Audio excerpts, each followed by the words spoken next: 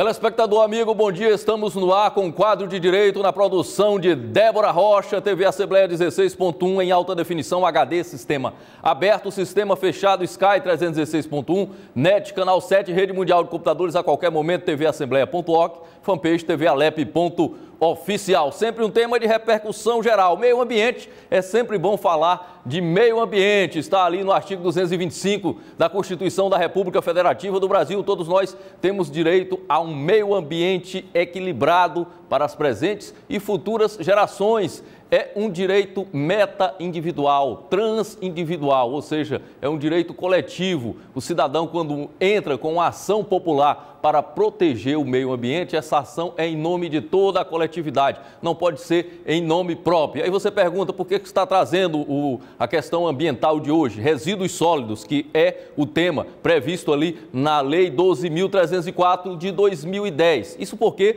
na semana passada, o prefeito da cidade de Teresópolis, no Rio de Janeiro, é, disse que se o poder público não puder recolher o lixo, caberia ao cidadão fazer é, essa é, acoplagem do, do recolhimento do lixo de duas maneiras, ou enterrando ou incinerando. Incinerando não pode, porque constitui um crime ambiental no artigo 54. Enterrar o lixo até que dá vai para quem mora em residência, mas para quem mora, por exemplo, em apartamento, como é que ele vai é, enterrar esse lixo? e, além do mais, estaria aí retirando uma obrigação do poder público para o particular, porque a taxa de coleta de resíduos, você paga essa taxa, e aí você não pode dizer, não, mas eu não quero que recolha o meu lixo. Não, porque o caminhão do lixo passa todo dia, se você vai colocar o lixo ou não, aí é uma questão sua. É exatamente como a taxa de iluminação pública, que todos nós pagamos. O cidadão não pode dizer, não, mas eu não saio nem à noite, para que, que eu vou pagar a taxa?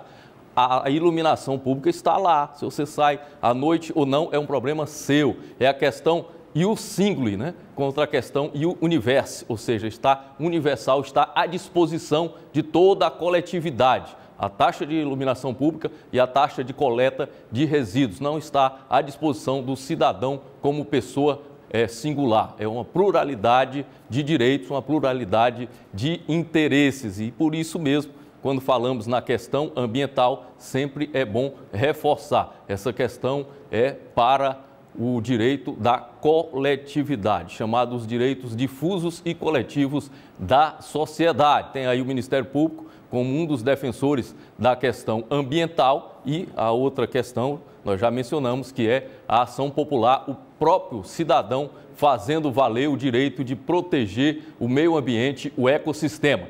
Mas para que tenhamos mais subsídios, a diretora executiva institucional do Bom Dia Assembleia, Daniela Leite, está fazendo o sinal para que chamemos uma reportagem produzida pela TV Assembleia. Competente equipe operacional, todos vocês posicionem e coloquem no ar Tiago Moraes para o canal da Cidadania.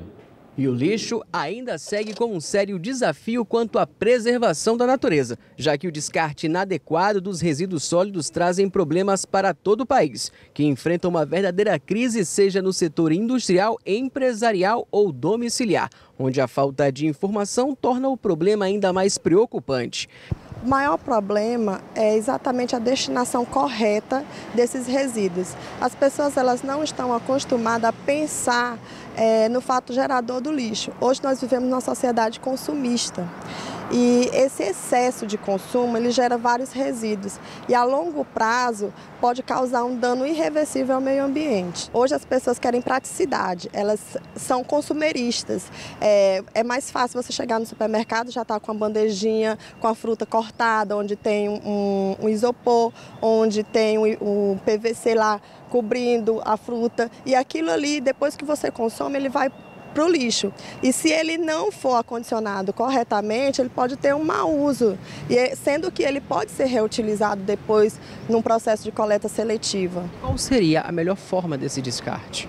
Exatamente, a utilização de coleta seletiva adequada, uma destinação onde os catadores e é, coletores pudessem reaproveitar, reutilizar esse resíduo sólido de uma outra forma. E a esperança para solucionar o problema está no incentivo à redução de taxas ou nas certificações das empresas em amigas do meio ambiente. Mas para Leonária Vieira, especialista em direito ambiental, é fundamental conscientizar a população para o descarte adequado do lixo. Existem as certificações ISO 14000, ISO 9001, onde as empresas elas podem até estar tá exportando seus produtos de acordo com a qualificação e a demanda dela. Então, se a, se a empresa se adequar às normas ambientais, às regras ambientais, ela, isso favorece, favorece até uma economia melhor para a empresa. A questão do lixo doméstico é um grande problema de educação. Se as pessoas fossem mais educadas, digo no, no sentido de selecionar, de separar, de ter o cuidado realmente para onde vai a destinação correta do seu lixo, o impacto seria bem menor. E a questão dessa falta de educação das pessoas é que é um grande problema. Hoje se investe muito pouco nesse tema.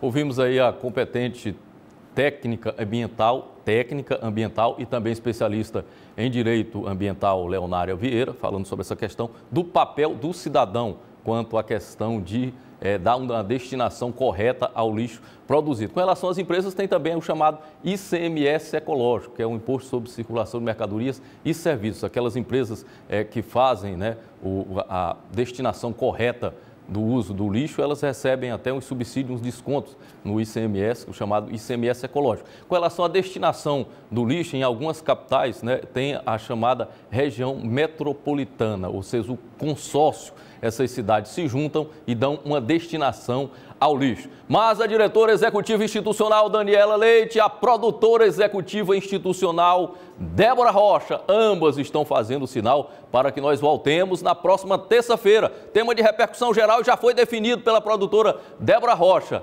Cotas para as mulheres e fundo partidário. Terça-feira, aguardo vocês.